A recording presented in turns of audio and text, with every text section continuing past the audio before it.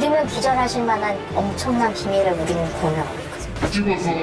찍어서 당신 한번 않아요?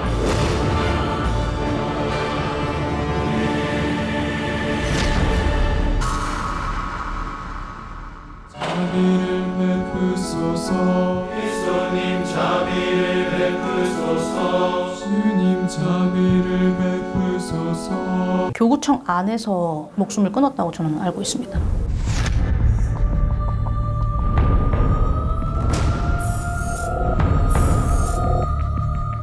신부가 안타깝게도 자신의 목숨을 끊어야 될 만큼 뭔가가 있었지 않았을까.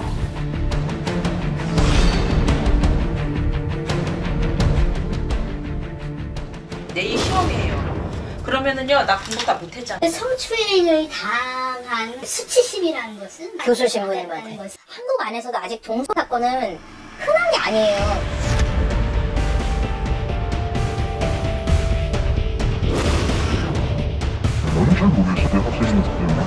때문에 대통령이나 뭐 다른 신부들은 알고 있어요.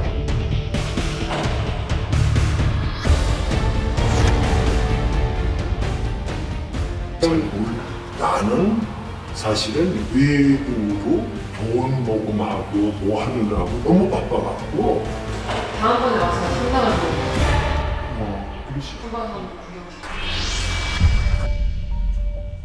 나도 직접은 아니고 간접적으로 들었고 외국 신부님하고 학생들하고 무슨 얘기가 있었던 것 같은데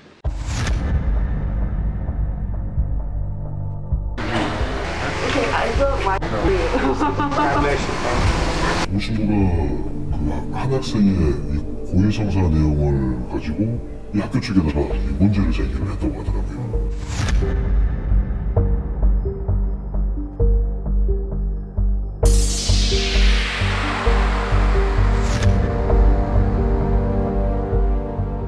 어, 그때는 이렇게 정말 구체적으로 만지더라고요. 키스를 하려고 이제 시도를 한다던가, 엉덩이를 만지, 만지고, 그리고 점점 앞으로 올- 오는 그런 상황?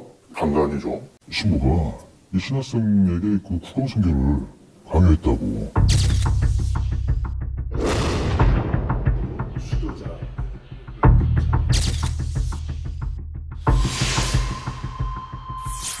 굉장히 존중받았어요. 겸손하게 사셨고, 아주 낮은 자세로 사셨던 모습을 보았기 때문에.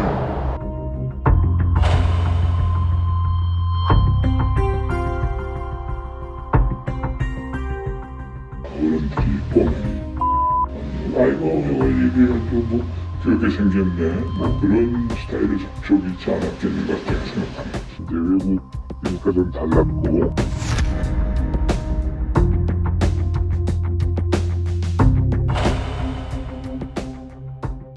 성추행 피해를 입었다고 저희가 확인을 했는데 저는 뭐 이렇게 그러니까 사랑의 표현을 했었다. 어, 쉽게 말하면 입을 맞췄다고 하시고 그거는 뭐 상대방이 그렇게 그렇다 그러면은 부인을 하는지는 아니고. 아동 성애자들 중에서 특히 근친상간을 하는 아버지들 교도소에서 면담할 때 이렇게 거의 똑같은 메커니즘으로 사랑해서 그랬다.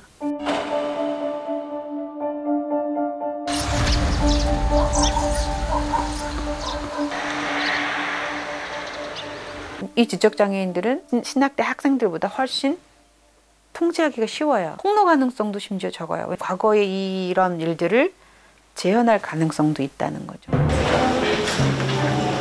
하나의 계기로 삼아서 우리